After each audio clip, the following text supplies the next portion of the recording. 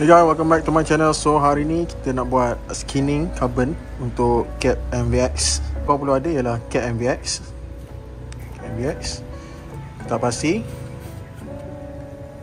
dengan gum dia. So gum ni ni first ialah epoxy resin part A dan epoxy hardener dia. So kau kena campur dulu ni. First step ialah kau kena gosok guna kertas pasti. So kertas pasti ni untuk yang first step ni ialah 120 aku guna 120 gosok sampai jadi uh, sekadar untuk cala dia. Bagi bagi dia kesat tak mau licin macam ni bagi dia kesat so let's go. Get kick.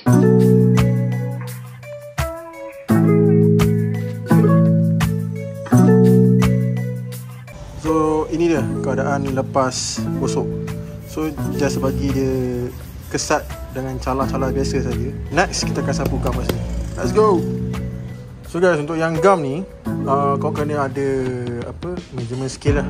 Okay, scale ni untuk untuk lebih tepat lagi. So cara nak bancur dia easy je. Uh, dia punya nisbah dia ialah 2 nisbah 1. Yang mana 2 yang mana 1 ialah part A nisbah 2 So kira kali dua lah. Ha, Ni satu. Sekejap. Aku tunjuk contoh orang. So first kau kena on ini. Bagi nampak. So ini lah aku guna. Ini yang aku tunjuk botol kecil ni hanya sampel je Sampel je So yang aku guna yang ni lah. Dalam tong besar ni.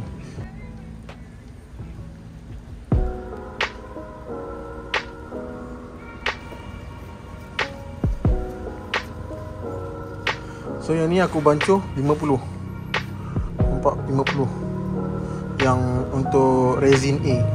So resin B pula Yang ni. Ha, Kau kena tengok. Resin B dia cair sikit. So kalau resin A ha, Dia akan likat sikit lah. Nampak? Likat sikit. Resin B dia cair So Ni dah Dia nak punya Dia punya nisbah ialah 2 nisbah 1 kan. So yang ni kau kena letak separuh pada dia. So separuh ialah 25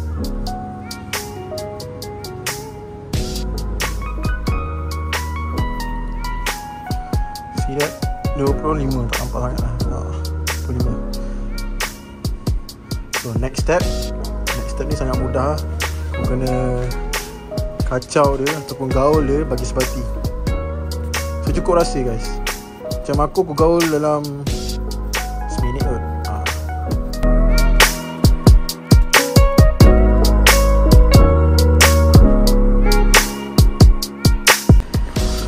So korang dah habis gaul kan? Korang rasa macam Dah puas hati Tengok macam okey ha, Dah akan jadi macam ni lah. Warna dia putih-putih sikit lah. Okay untuk next step ni Kau kena ada brush. Brush ni Nampak ni? So kau buka brush ni. Make sure Bulu-bulu yang lebih-lebih tu uh, Make sure Kalau boleh tanggal lah. Eh, Yang lebih-lebih ni Make sure Tak ada bulu Yang terkeluar. So bila dah macam ni Dah cantik. Baru kita sapu.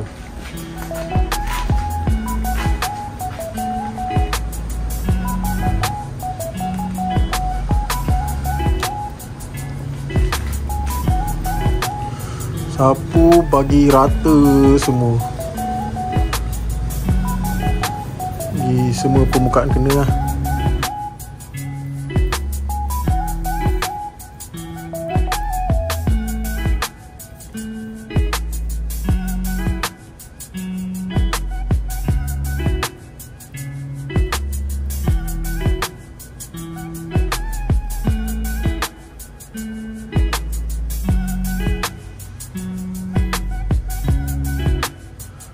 make sure semua permukaan kena.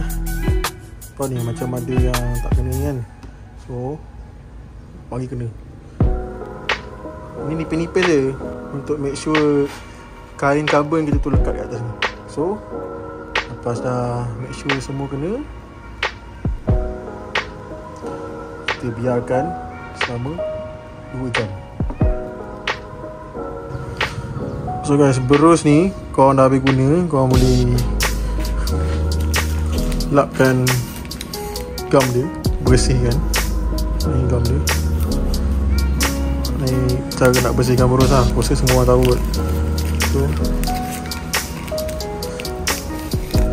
dah buang segala gam dia yang ada dekat berus ni. Kau orang boleh letak dalam tina ha, ni macam ni aku letak dalam beaker ni ke plastik ni. So tak settle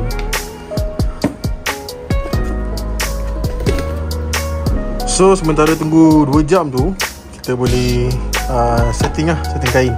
So korang boleh pilih kain apa yang kau nak Kain carbon apa yang kau nak. So kalau siapa-siapa yang nak yang tak tahu nak beli kain kat mana uh, Aku akan bagi link Shopee kat bawah kat description. So korang boleh check it out Okay? So Ini ialah sample Ataupun part original lah Yang bukan kopi lah Part original uh, MVX So ini aku gunakan untuk Untuk ukur lah ukur uh, berapa kain yang kita perlukan. So bagi aku yang selalu aku buat ialah biasanya dia punya jarak tu dua jari eh. Dua jari, dua jari, dua jari, dua jari. So kalau kat sini dalam dua honeycomb ni dua je. Dua, dua, dua, dua, dua, dua. So yang atas ni biar lebih lah sebab kita nak tutup kat atas ni kan. So let's go.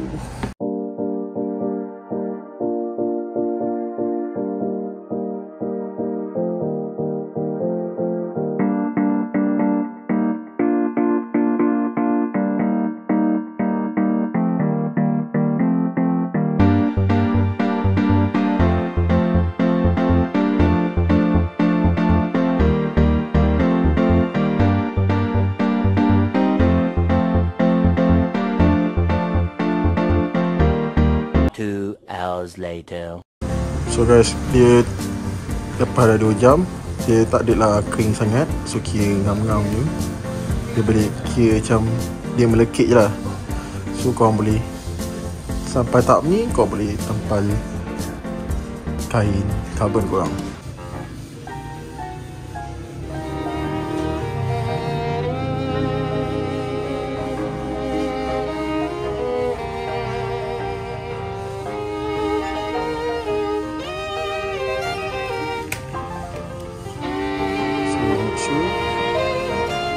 Pak saya ni Start daripada tengah Kan dia punya ada alur kan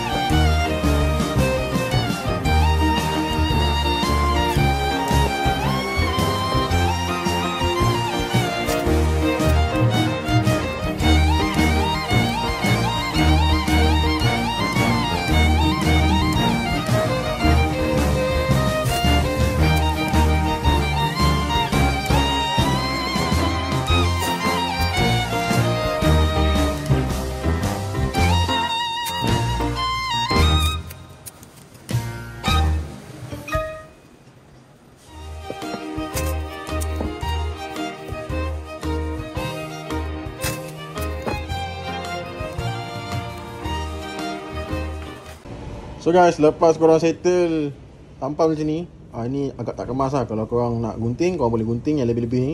Tinggalkan sikit eh. Okay. So lepas dah settle, kita bancuh lagi epoxy untuk letak kat atas ni. Untuk first layer ni.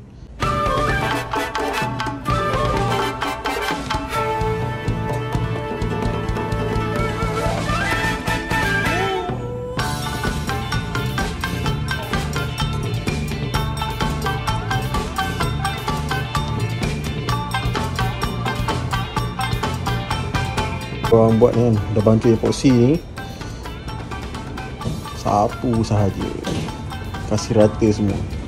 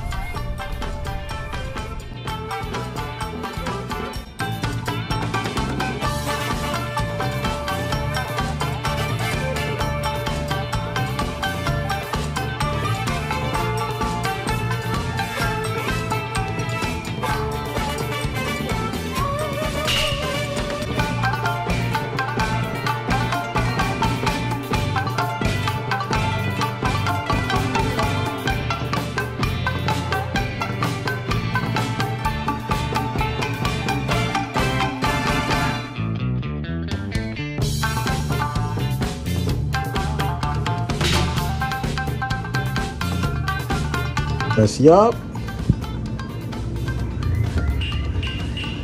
Biarkan ni kat sini dalam masa 3 ataupun 4 jam. Four hours later. So dalam keadaan macam ni kan? Dia dah separuh kering. Lekit-lekit je. So korang boleh potong. Pakai pisau. Potong sekeliling ni. So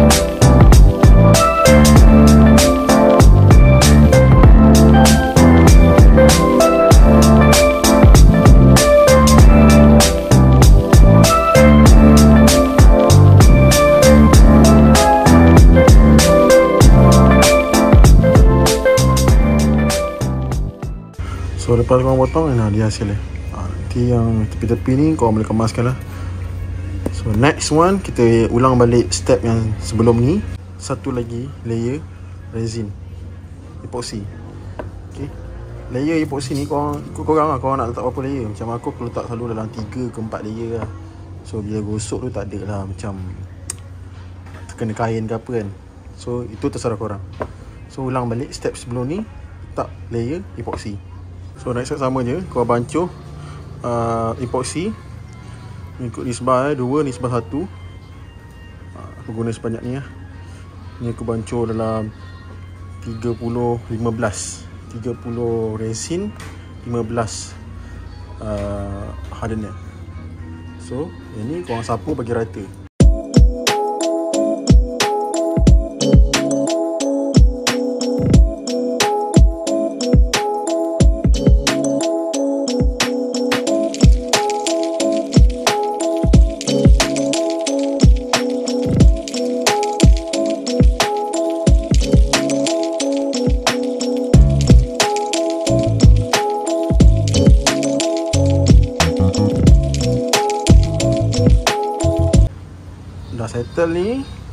Biarkan selama 2 jam. Alright. 2 jam dia keras. Kalau dah terlebih keras Korang kena gosok balik Bagi kasar Lepas tu korang Sapu balik. Ikut layer yang korang nak. So guys Ini hasil dia lepas beberapa layer. Ha, Aku punya ni agak kasar sikit lah Sebab Aku punya berus tu Ada apa Habuk dekat So kasar sikit. So korang punya akan jadi kilat sikit lah. Lebih kurang macam macam ni Dia akan jadi berkilat. So macam mana nak bagi dia smooth Smooth dan licin macam ni Kan? Ha, Korang kena gosok. Gosok dia ada beberapa Ada tiga step. So Tiga step ialah First kau kena guna Kertas pasir 120 Gosok. Dah bagi Bagi dia rata Untuk shaping dia. Yang kedua Untuk hilang cala yang 120 ni kau kena guna 130 Eh apa? 320 Nampak? 320 Last sekali Untuk bagi dia Licin-licin shining-shining Kita pasal 800 So hari ni Lepas dah 3 layer Aku ni aku buat 3 layer. So Kita gosok guna Kita pasal 120 dulu Let's go. So guys, yang ni adalah selepas korang gosok guna kertas pasir 120, 320 dan 800. Dan aku extra sikit lepas 800 aku gosok guna kertas pasir 1005 dengan 2000. So oh, celup jari nak tengok macam mana hasil selepas spray clear. Ialah macam ni. Ha. ha.